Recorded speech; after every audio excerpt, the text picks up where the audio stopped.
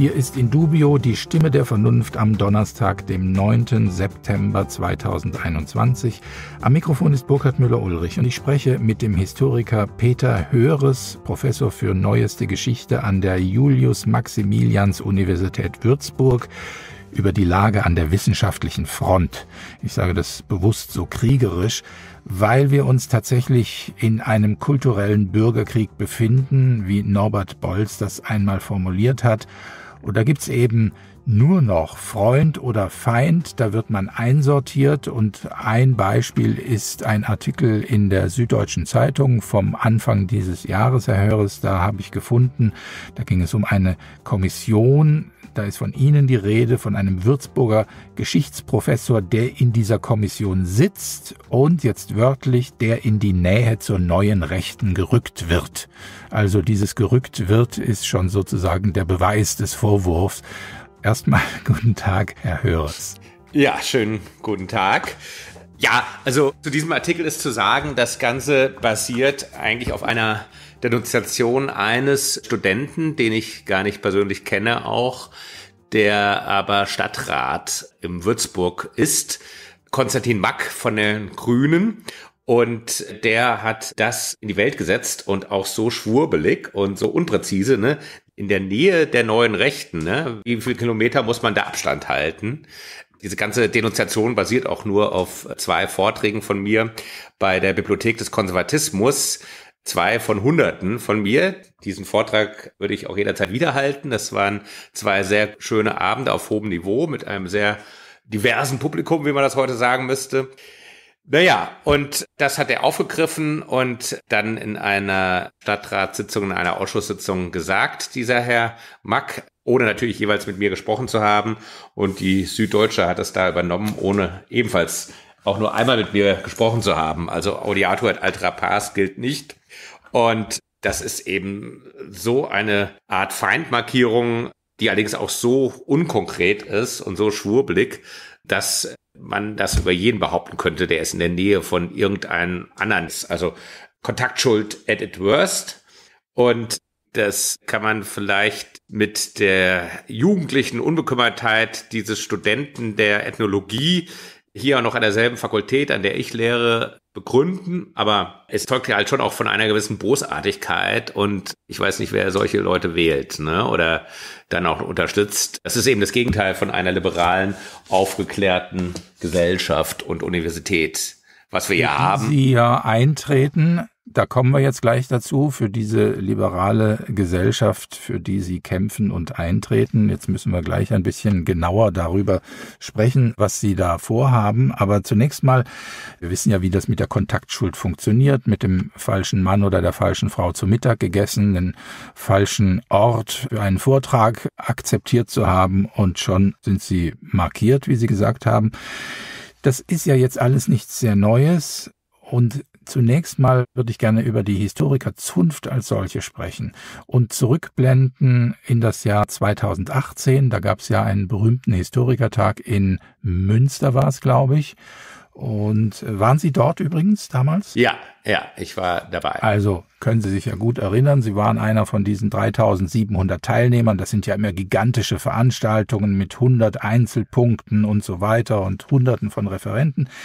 Und dort wurde also eine Resolution gefasst, die ja im Grunde gegen eine im Bundestag vertretene politische Partei gerichtet war, die AfD. Da wurde explizit gefordert, dass zum Beispiel AfD-Kultusminister verhindert werden müssen, also dass die CDU auf keinen Fall mit der AfD da gemeinsame Sache machen.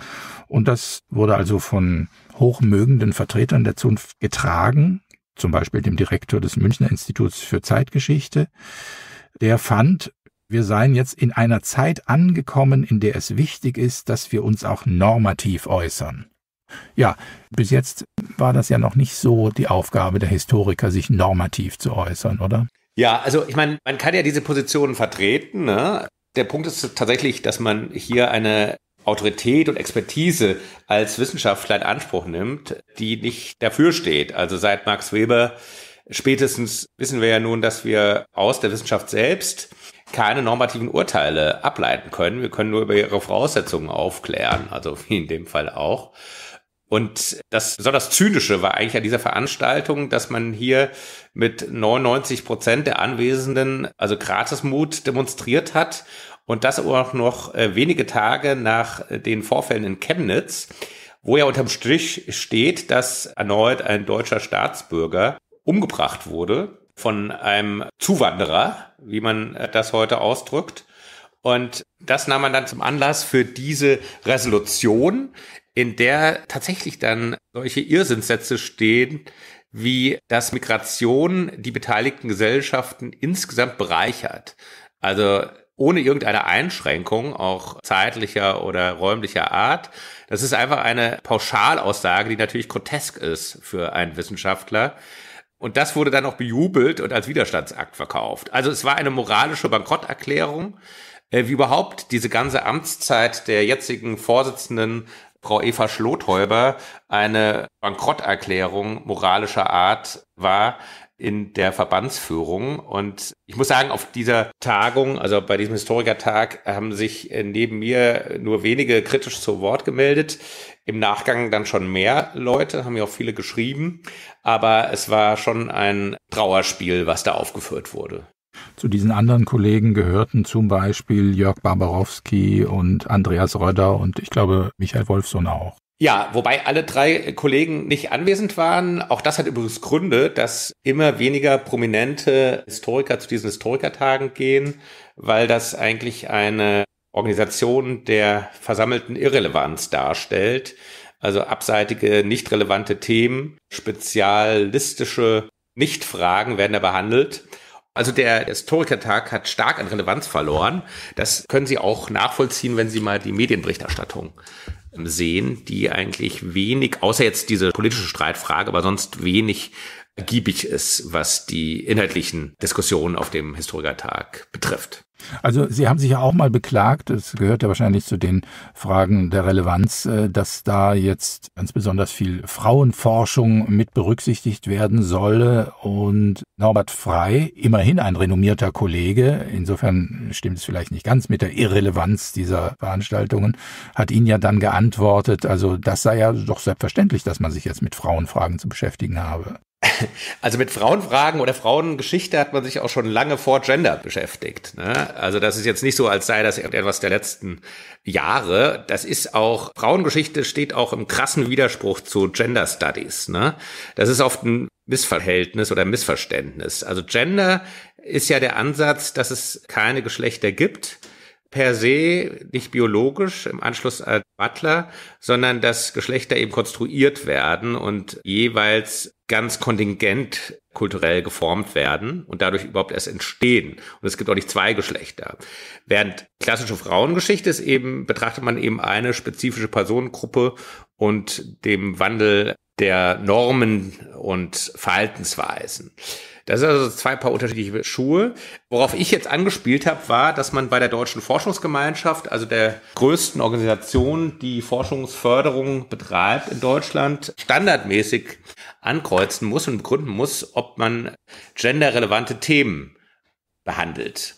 Und das halte ich schon für schwierig hier, also das so zu privilegieren, diesen einen Ansatz, dass bei jedem Antrag, egal ob Sie einen Antrag zur internationalen Beziehungen im Kalten Krieg stellen oder zur Ära Adenauer, obwohl das eher unwahrscheinlich ist, dass solche Anträge noch gestellt werden, also dass man jedes Mal ankreuzen muss, ob das genderrelevant ist. Und das halte ich für eine starke Lenkung und Bevormundung der äh, Scientific Community. Das war es, worauf ich angespielt habe. Und ich glaube, Norbert Frei hat das dann auch extra etwas missverstanden denn die Problematik wurde jetzt auch schon von vielen Kollegen ins Feld geführt. Ja, und es spiegelt sich darin auch wieder dieser kulturelle Bürgerkrieg, den kann man gar nicht mit links oder rechts etikettieren. Also man kann schon, wenn man will. Und dann ist eben der eher links drehende Norbert Frei, der dafür ein Interviewabonnement beim Deutschlandfunk hat, derjenige, der sie dann öffentlich abwatschen darf. Ja, also links und rechts sind jetzt schon schwierig zu benennen, weil links hieß ja traditionell, hieße das ja ein Einsatz für die Unterprivilegierten, für die Arbeiterklasse im klassischen Sinne oder für die Interessen der Arbeiter und des Prekariats sozusagen, der schlechter gestellten, der Gehandicapten. Und diese Parteiergreifung sehe ich eigentlich bei dem, was heute so unter links läuft oder linksliberal größtenteils nicht, ne? sondern das ist eben eher dieser Gegensatz von Goodhart, also die Anywheres und Somewheres, also die eine globale Elite, die sich für ihre Schicht, eigentlich eher die Bourgeoisie, interessiert und deren Vorurteile und die nicht mehr für das klassische Klientel der sozial Schwachen wie man das früher genannt hat. Insofern ist das jetzt immer schwierig, überhaupt mit den Begriffen, auch linksliberal finde ich sehr schwierig, weil das hieß ja, dass man liberal ist. Die Linksliberalen in ihrer Mehrheit sind aber nicht liberal, sondern äußerst intolerant. Insofern müssten wir da nach neuen Begriffen eigentlich suchen und diese prägen, denn die klassischen sind nicht mehr gut einsetzbar in unserer heutigen Lage. Ja, es hat sich ja in der Tat alles umgekehrt. Also links war ja auch mal wirklich Herrschaftskritik, während man ja. also gerade auf der Seite nichts anderes hört als Oppositionskritik mittlerweile. Ja. Und ja, damit verbunden natürlich Herrschaftsakklamation oder Macht, Regierungssicherung, wie immer man es ausdrücken will. Ja, genau. Also es ist eigentlich ein Tritt nach unten jeweils, ne? Ein Tritt auf die sowieso schon marginalisierten. Und das widerspricht natürlich dem klassischen Selbstverständnis. Ich meine, ich habe neulich mal auf Twitter mitgeteilt, es ist ja schon interessant, wenn man jetzt mal nur als Beispiel mal eine Punkrock-Band wie die Toten Hosen sich anschaut, ne? Die ja Anfang der 80er angetreten waren, genau mit dem, was sie eben sagten, also eben gegen die Herrschenden, gegen die da oben, gegen die bürgerliche Gesellschaft auszuteilen und die jetzt zu 100 Prozent in den letzten beiden Dekaden eins zu eins den Mainstream repräsentieren in allen Fragen, egal wie man dazu stehen mag. Aber das ist doch sehr erstaunlich und das ist übrigens dem großen Idol, dem Frontmann der Sex Pistols jetzt auch aufgefallen, äh, dem Johnny, dem Johnny Rotten, der das auch gesagt hat, es hat sich komplett umgedreht. Also wenn man noch einen Rest Verstand hat, fällt einem das auch auf, aber nicht alle scheinen den zu haben. Da höre ich ein bisschen den Kulturhistoriker Höres darin. Also das sind ja auch Beispiele, die Sie da jetzt bringen, die nicht jedem einfallen würden. Wie sind Sie denn so geistig aufgestellt, dass Sie sich besonders für Kultur interessieren? Naja, ich meine, das ist etwas, was uns von Anfang an prägt, umgibt auch. Ne? Kultur hat auch immer eine politische Komponente. Und wir können jetzt erstmal wertfrei natürlich schon konstatieren, dass sich ein ganz starker kultureller Wandel in den letzten Dekaden vollzogen hat. Wenn man das erstmal ohne Bewertung sieht, also vergleichen Sie mal alleine die Geschichte der Bundesrepublik und die Einstellungen zu Themen wie Sexualität etwa oder auch zu Gastarbeitern, Zuwanderern. Jetzt nur mal um zwei Beispiele zu nennen. Da hat sich schon ein fundamentaler Wandel vollzogen, der sich in den letzten Jahren noch verschärft hat. Ne? Also vor der sozialliberalen Koalition 1969 war ja Ehebruch noch strafbar, muss man eine Geldstrafe zahlen, ne? auch wenn das sozusagen in der Praxis wenig Resonanz gefunden hat mehr. Ne? Und natürlich äh, war, wir wissen es ja noch, waren auch homosexuelle Handlungen zwischen Männern auch strafbar. Und heutzutage ist sozusagen der größte gesellschaftliche Skandal, wenn jemand sich verspricht, was die Gruppe der Homosexuellen betrifft. Also das möchte ich nur mal erstmal konstatieren. Ne? Ein Fall wie Kiesling damals, ein Bundeswehrgeneral, der zurücktreten musste, 1984, wegen des Vorwurfs der Homosexualität wäre ja heute überhaupt nicht mehr denkbar. Ne? Umgekehrt, derjenige, der so einen Vorwurf erheben würde, müsste zurücktreten. Und das möchte ich jetzt erstmal aber nur konstatieren. Also hier verändert sich dramatisch etwas, ne? auch etwa in der Einstellung zur Religion und so weiter. Und diesen kulturellen Wandel zu beobachten, ist quasi in Echtzeit jetzt zu beobachten, in kürzester Zeit. Wandel gab es ja immer natürlich, ne? aber die Beschleunigung ist eben jetzt das Merkmal. Also wenn Sie Wandel im Mittelalter beobachten, dann haben Sie größere Zeiträume, möglicherweise Jahrhunderte eben, wo sich was tut. Das hängt natürlich auch mit der Quellenlage zusammen. Heute haben wir eben einen ganz, ganz rasanten und beschleunigten Wandel. Und insofern haben man als Zeithistoriker äh, viel Material und äh, auch einen spannenden Stoff, weil es hier doch um sehr radikale Wandlungsprozesse geht.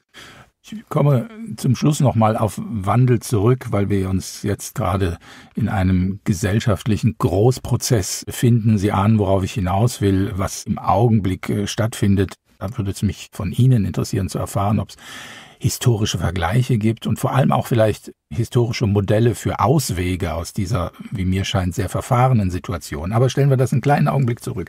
Sie haben sich ja für die SZ sicherlich, vielleicht für Herrn Frei auch, unmöglich gemacht, indem Sie sich für freie Debattenräume eingesetzt haben. Es gab so einen Appell vor einem Jahr, den haben Sie, glaube ich, mit unterschrieben, ein Appell für freie Debattenräume, der ja von vielen dann so als weinerlich diskreditiert wurde. Also äh, es gibt doch freie Debatten, es gibt ja sogar so einen Podcast wie der, in dem Sie gerade auftreten. Also was wollen die Leute eigentlich? Ja? Was würden Sie denn sagen? Wie ist die Lage wirklich und mit welchen Beispielen könnten Sie es unterfüttern? Also das Problem ist ja immer ein bisschen, das reproduziert sich ständig, auch dieser Vorwurf Lamoyanz, Weinerlichkeit und so weiter. Ne? Das kommt natürlich immer von Leuten, die noch nie in ihrem Leben eine Position vorgetragen haben, die auch nur ein Millimeter abweicht vom Mainstream. Also die merken sowas natürlich auch nicht. Nolle Neumann hat in den 60er Jahren schon die öffentliche Meinung definiert als eine Kraft, die man erst dann spürt, wenn sie eben gegen eingerichtet wird. Und äh, wenn man das nie getan hat in seinem Leben, dann merkt man das Problem natürlich auch überhaupt nicht. Wenn man immer nur rein nach der Majorität beziehungsweise nach dem Mainstream geht. Es ist aber ja schon so, und da gibt es nun so viele Beispiele, dass man gar nicht weiß, wo man anfangen soll, dass man eben schnell, wenn man irgendwo eine Position vertritt, die als nicht mehr akzeptabel gilt, eben stigmatisiert wird. Es fängt auf Twitter an und geht über die sozialen Netzwerke dann zum etablierten Journalismus. Und auch in der Wissenschaft ist das eben so. Und wir haben in dem Netzwerk Wissenschaftsfreiheit einige wenige Fälle gesammelt und auch veröffentlicht auf unserer Website, wo man das auch bei etablierten Kollegen sieht. Es ist aber auch so, ähm, man kann immer sagen, Professoren haben es ja in Deutschland gut, haben Beamtenstadios, den kann man eigentlich nichts. Das stimmt einerseits, aber man muss immer sehen, also die Peer Group sind eben die Kollegen und wenn man mal so eine gesamte Peer Group spürt, dem Atem vor dieser Peer Group im Nacken, ist das nicht so angenehm und vor allem geht's ja uns nicht nur um uns selbst sozusagen, sondern auch um die weitere Entwicklung, zum Beispiel um den akademischen Nachwuchs. Und dieser Nachwuchs hat in der Bundesrepublik Deutschland eben überwiegend eine prekäre Stellung. Das ist jetzt, findet jetzt auch Beachtung der Politik, weil es eben nur Zeitverträge gibt, anders als etwa in Großbritannien. Und dieser Nachwuchs, da ist also unmittelbar immer eine Vernichtungsdrohung im, steht im Raume. Und leider ist es jetzt in unserem Fach der Geschichtswissenschaft so, dass dieses Spiel, also diese Aggression gegen einzelne Nachwuchswissenschaftler sogar von der Verbandsspitze mitgetragen wurde, eben der eben erwähnten Frau Kollegin Schlothäuber. Und das hätte ich nicht für möglich gehalten, dass das in einem Berufsverband, dass der gegen eigene Mitglieder aus dem Nachwuchs Kampagnen fährt. Also das ist schon sehr, sehr bitter. Und da muss jeder integre Kollege auch etwas zu sagen und darauf hinweisen, meines Erachtens. Ja, das ist äh, bezeichnend, denn schließlich äh, fährt auch der Penn, der ja für Freiheit des Wortes in jeder Weise eintritt, Kampagnen gegen seine eigenen Mitglieder, wenn sie zum Beispiel AfD-Sympathisanten sind. Das von Ihnen gerade eben angesprochene Netzwerk Wissenschaftsfreiheit ist ja noch etwas anderes als der von mir gerade erwähnte Appell für freie Debattenräume. Ich weiß gar nicht, was war zuerst da war dieser Appell für Debattenräume, der ja stärker auf die Meinungsfreiheit zielt, während unser Netzwerk eben konkret auf die Wissenschaftsfreiheit ausgerichtet ist. Und dieses Netzwerk, wann haben Sie das, äh, Sie sind ja Mitgründer, wann haben Sie das ins Leben gerufen? Wie lange gibt's das? Das hat im Herbst letzten Jahres haben wir äh, uns eine Kerngruppe von, glaube ich, 18 Kollegen auf Initiative der fabelhaften Migrationsforscherin Sandra Kostner getroffen in Mainz und haben uns da überlegt, uns eben zusammenzuschließen und das ist mittlerweile auf 600 Kolleginnen und Kollegen angewachsen die also eben Wissenschaftler sind und dieses Thema für wichtig halten. Das ist wirklich erstaunlich. Ich habe mir das im Internet angeschaut. Sie veröffentlichen ja die ganze Unterschriftenliste. Man kann da wirklich sehr bedeutende Namen drunter finden und die meisten, also sehr viele mit Professorentiteln auch versehen. Und äh, muss man aufpassen, wenn man nämlich Netzwerkwissenschaftsfreiheit.de eingibt, dann landet man bei Ihnen. Aber es gibt ja. eine Konkurrenzveranstaltung, die natürlich listigerweise auch Netzwerk Wissenschaftsfreiheit heißt, aber dann hinten mit .org Und auch die trumpfen auf mit irgendwie 500 plus Unterschriften oder Mitgliedern, wobei mir dann schon aufgefallen ist, auf der einen Seite handelt es sich um Organisationen, also ganz viele Organisationen, die ganz offensichtlich auch äh, staatlich gefördert werden.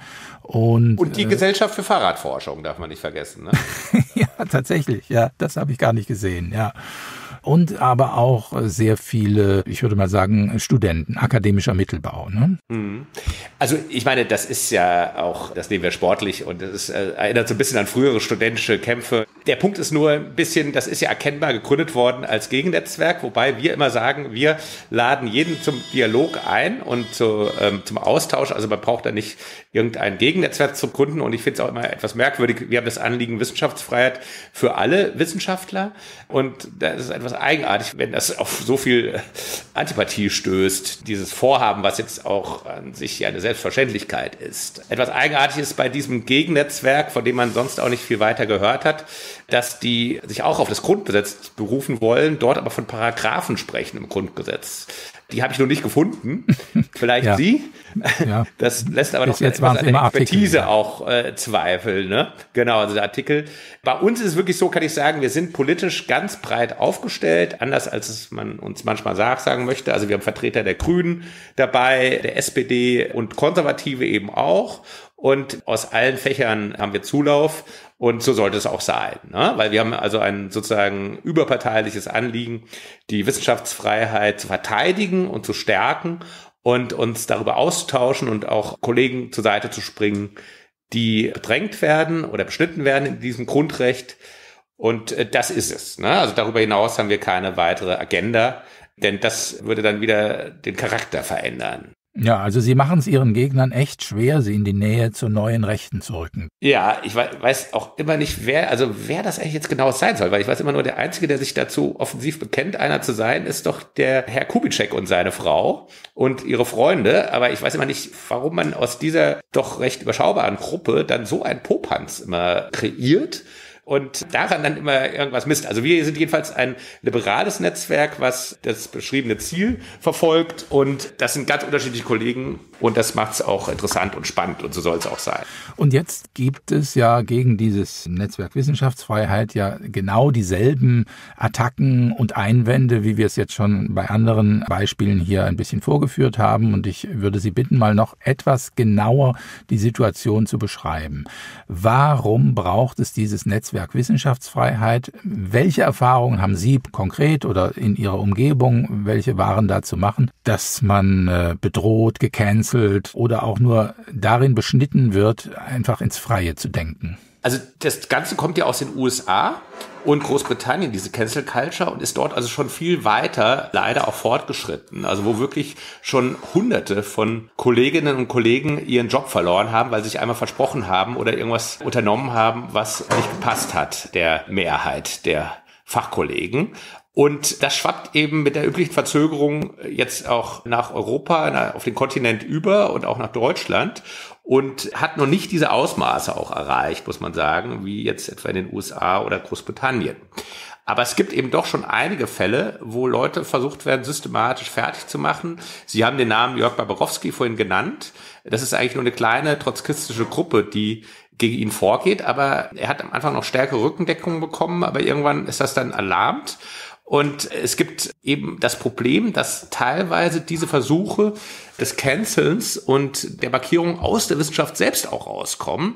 Also ein Beispiel ist etwa der sehr renommierte Kollege, Althistoriker Egon Fleig, der zu einem wissenschaftlichen Kolloquium, althistorischen Kolloquium an der Universität Oldenburg eingeladen wurde und wo es dann Proteste gab des Asters und der Fachschaft dort, und diesen Protesten, also mit dem Ziel, ihn auszuladen wieder, diesen Protesten haben sich dann Kollegen aus dem Geschichtsinstitut, aus der neuesten Geschichte angeschlossen, ne, auch äh, öffentlich. Und das halte ich schon sehr bedenklich. Man muss aber auch sagen, also Stichwort Lamoyanz und Wehleidigkeit, dass es dann auch wieder eine Präsidentin dort gab, die die Wissenschaftsfreiheit verteidigt hat. Also es ist jetzt nicht so, dass wir keinen Zuspruch bekommen würden auch. Und auch das muss man natürlich sagen und dokumentieren. Aber allein, dass solche Versuche kommen aus der Wissenschaft selbst heraus, und da haben wir eben eine Fallsammlung unvollständig auch zusammengestellt, ist schon meines Erachtens sehr, sehr bedenklich. Ja, es ist ja in der Tat nicht ganz unwichtig, wie sich die Universitätsleitungen dann verhalten in solchen Konfrontationsfällen. Ich erinnere mich noch an den Fall des äh, Wirtschaftswissenschaftlers Lucke, der ja seine Vorlesung in Hamburg wieder aufnahm und erstmal wirklich mit roher Gewalt daran gehindert wurde und die Universitätsleitung dort aber irgendwie sich wegduckte und sagt, ja, so irgendwie ist das natürlich ein schwieriger Typ, dieser Herr Lucke, und er muss sich selber fragen lassen. Und wenn man solche Formulierungen hört, dann weiß man ja schon, wo es lang geht. Also er bekam keine Deckung das ist das Gegenbeispiel. Ne? Also da hat wirklich die, sowohl die Wissenschaftssenatorin als auch das Präsidium sich sehr windelweich verhalten und nicht einfach klar gesagt, also ein, ein Wissenschaftler hat das Recht und übrigens auch die Pflicht zu lehren und das auch unbedrängt zu tun. Wir haben äh, diesen und andere Fälle auch in die Politik gebracht und wir hatten neulich eine Diskussion mit Vertretern aller Fraktionen, die auch noch im Netz auf unserem YouTube-Kanal zu finden ist. Und es ist immer so, dass im Grundsatz die meisten, außer von der Linkspartei, dieses Ziel auch unterstützen, Wissenschaftsfreiheit zu leben und zu vertreten.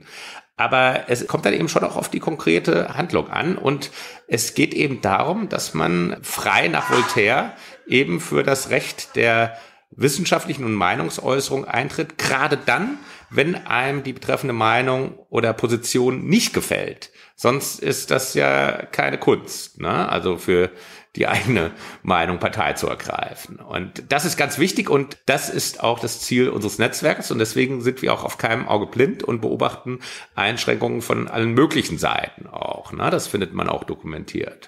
Wie sieht's denn bei Ihnen in Würzburg aus? Wie ist da die Lage? Fühlen Sie sich gut aufgehoben? Ja, also grundsätzlich schon. Ne? Ich meine, ähm, Würzburg ist jetzt auch äh, nicht abgekoppelt vom Rest der Republik. Ne? Und auch hier kommen verschiedene Trends an. Aber grundsätzlich kann man sagen, herrscht natürlich schon noch ein anderes Klima hier, als mir berichtet wird, etwa aus Berlin jetzt zum Beispiel. Ne? Und grundsätzlich, also bei mir ist es auch so, dass natürlich andere Positionen und Meinungen toleriert werden und schon mal gar nicht die politische Ausrichtung einer Person eine Rolle spielt. Ne? Ich darf nur mal erwähnen, also ich glaube, es ist vielleicht schon deutlich geworden, dass ich nicht unmittelbar der größte Sympathisant der Jusos bin. Auf der anderen Seite ist mein erstes Summa Cum Laude von mir vergeben worden an einen Doktoranden, der eben bei den Jusos engagiert ist. Also das sollte doch eigentlich selbstverständlich sein. Ja? Also das eine hat mit dem anderen eben nichts zu tun. Die wissenschaftliche Leistung hat nichts zu tun mit dem politischen Standort. Aber diese Selbstverständlichkeit muss man vielleicht mal wieder betonen. Sind Sie denn ein großer Sympathisant der Frankfurter Allgemeinen Zeitung? Also ich bin nicht Sympa also Sympathisant, ähm, ich bin Ich frage deswegen, ich äh, muss es gleich erklären ja. für die Hörer, weil Sie ja eine berühmte Geschichte, Sie haben die Geschichte der FAZ geschrieben. Genau, also ich bin grundsätzlich jetzt mal ein Sympathisant der Lebensform und auch der Äußerungsform der Zeitung, anders als Nietzsche der das ja für den Gipfel der Massenkultur und Verkommenheit das Zeitungslesen betrachtet hat. Ne? Da hat sich auch etwas verschoben, äh, die Maßstäbe. Insofern äh, bin ich, lese ich nach wie vor gerne gute Zeitungen, welches auch immer es sind. Und die Frankfurter Allgemeine Zeitung war und ist natürlich eine sehr spannende Zeitung mit sehr unterschiedlichen Ausprägungen.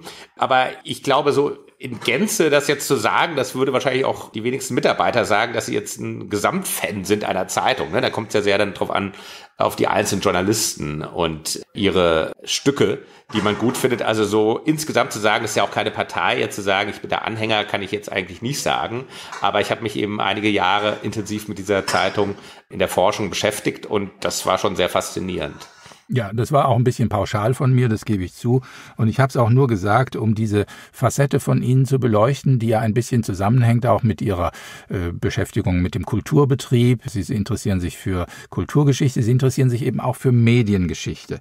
Und äh, mit Nietzsche halte ich es äh, tatsächlich insofern, als ich den Journalismus mittlerweile für den Gipfel der Verkommenheit halte.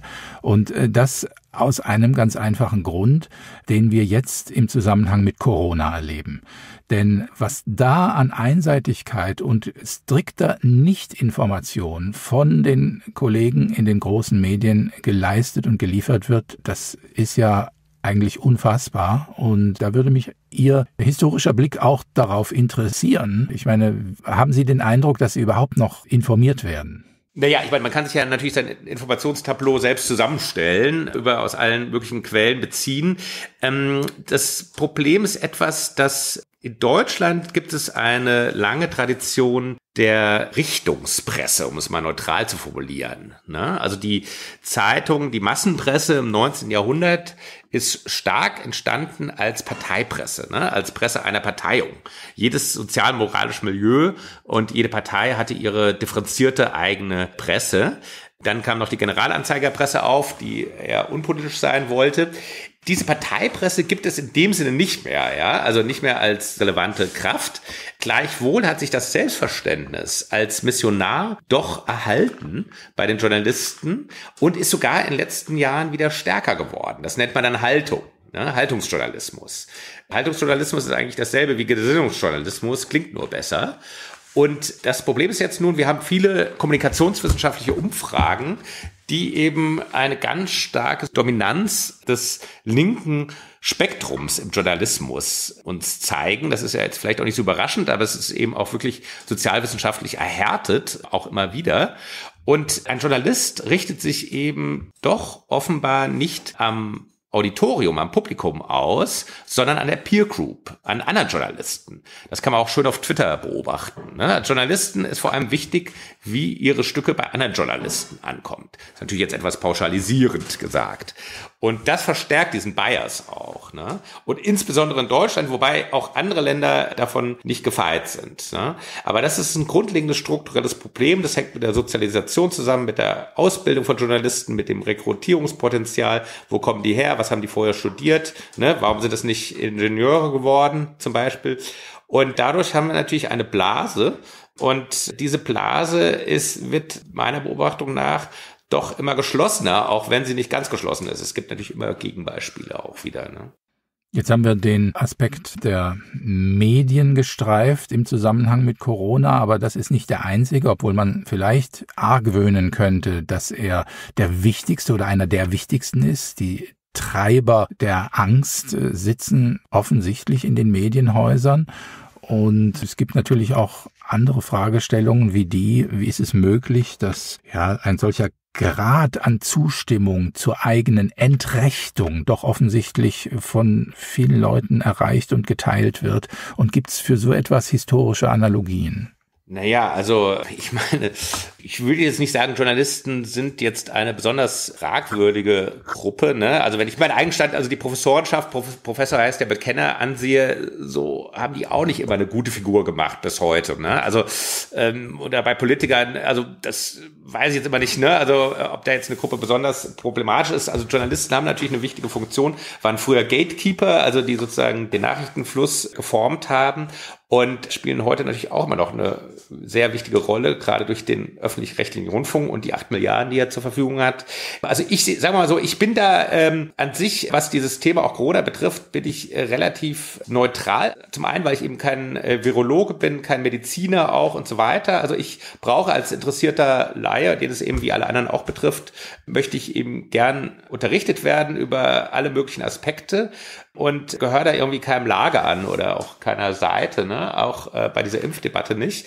Ich bin halt skeptisch bei manchen, äh, ne? also was Impfung von Kindern zum Beispiel betrifft und man hat oft halt den Eindruck, man soll hier geführt werden zu einer bestimmten Urteilsbildung. Ein Beispiel übrigens noch mal ein, um mal ein anderes nochmal zu nehmen, da kann man unterschiedlich drüber denken. Texas gibt es jetzt eine Verschärfung der Abtreibungsgesetze, also hinsichtlich eines relativ strikten Abtreibungsverbotes ne? ab dem Herzschlag des Kindes. Da kann man, ich weiß auch, dass die Mehrzahl der deutschen Bevölkerung darüber eine spezifische Meinung hat, aber grundsätzlich möchte man doch von einem öffentlichen rechtlichen Rundfunksender wie dem Deutschlandfunk Pro und Contra hören. Ne? Also was sagen die Kritiker dieses Gesetzes, was sagen aber auch die Befürworter? Ne? Also was ist überhaupt der Sinn dahinter? Und ich habe heute Morgen, jetzt, und das ist wirklich nur ein Beispiel, das man uferlos vermehren kann, einen Bericht des Deutschlandfunkes im Radio gehört und es kam ausschließlich Kritiker dieses Gesetzes zu Wort. Ja?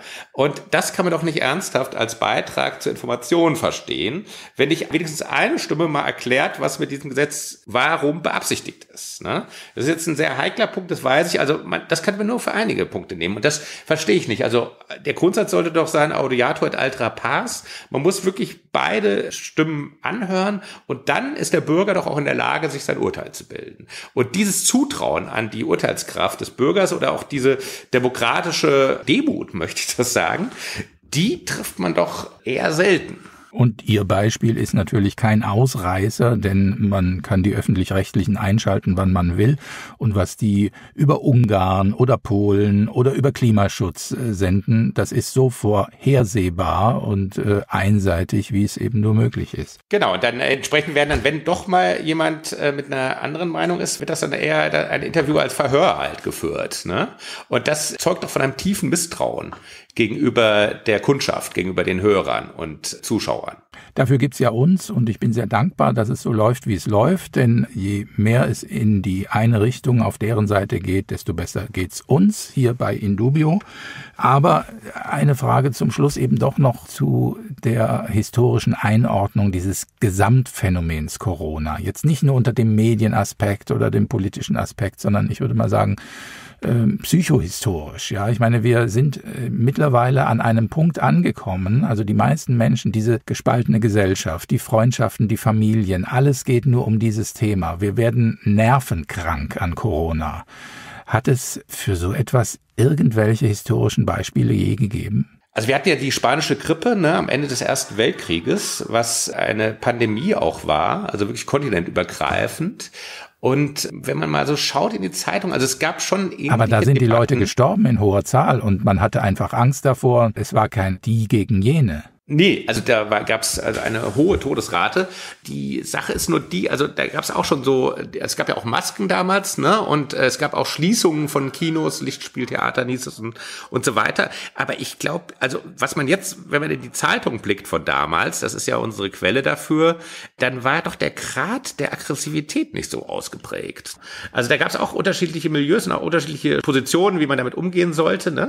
Aber dieser Tonfall, der war, hatte nicht diese Qualität Qualität oder diese negative Qualität, wie ich das heute sehe, im Umgang mit den unterschiedlichen Positionen. Und wie gesagt, ich muss nochmal sagen, also ich bin weder ein sogenannter Corona-Leugner noch ein, ein, ein Impfgegner per se. Also ich bin wirklich da, habe da keine vorgefasste Meinung. Was ich schon auch sehe, ist sozusagen drastische Einschränkungen der Grundrechte, die immer problematisch sind.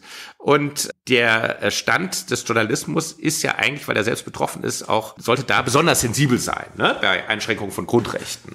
Und wir sollten insgesamt auch da besonders sensibel sein. Und äh, das ist unter ausgeprägt, wenn ich das mal so sagen darf. Und ich kenne auch viele Studenten hier zum Beispiel, die wirklich psychisch am Ende sind, wenn Sie sich vorstellen, drei Semester am Stück sehen die die Uni nicht von innen, ne, sind ausschließlich in, in der Online-Lehre, werden die beschallt, die Leistungen werden schlechter und das jugendliche Leben, ne, das Studentenleben findet gar nicht statt. Und das sind schon auch Dinge, auf die ich gerne hinweisen möchte. Ja, dann nehmen wir das als Schlusswort. Ich bin froh, dass Sie immer noch wohlbehalten da sind. Man hatte vom Lärm her inzwischen den Eindruck, dass die Würzburger Universität gerade abmontiert wird. Also es klang so Nicht ganz, entweder ja. nach Mensa oder nach Großbaustelle, aber äh, äh, Großbaustelle eher, ja. genau, auf meine Initiative hin wird die Universität jetzt schwarz-weiß in den Farben von Eintracht Frankfurt gestrichen. Sehr schön. Okay, lieber Herr Höres, haben Sie vielen Dank und alles Gute. Gerne, vielen herzlichen Dank.